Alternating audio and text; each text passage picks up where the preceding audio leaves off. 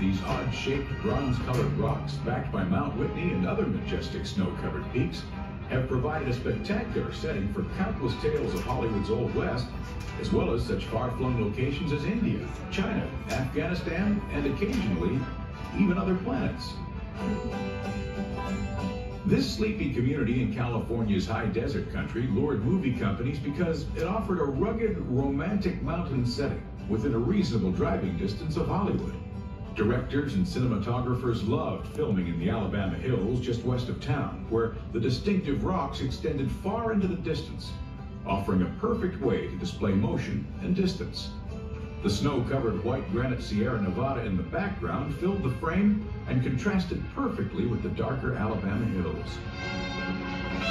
From the beginning, many Lone Pine residents worked for the movie companies and support industries, some of them as stuntmen and extras. Initially, rancher Al Gallagher furnished the horses and cattle that filmmakers needed, but it was local rancher Russ Spainhower who built a business around supplying the movie people with whatever they needed for filming horses, cattle, wagons, stagecoaches, and other items. He also signed up local residents and cowboys to work on and in the pictures. Eventually, Spainhower built a Spanish mission set and later added a western town and street set on his Anchor Ranch, a sprawling spread just south of town along Highway 395. By most accounts, the first movie filmed in the Lone Pine area was The Roundup, a Paramount picture starring silent screen comedian Fatty Arbuckle, which began filming in early September of 1919.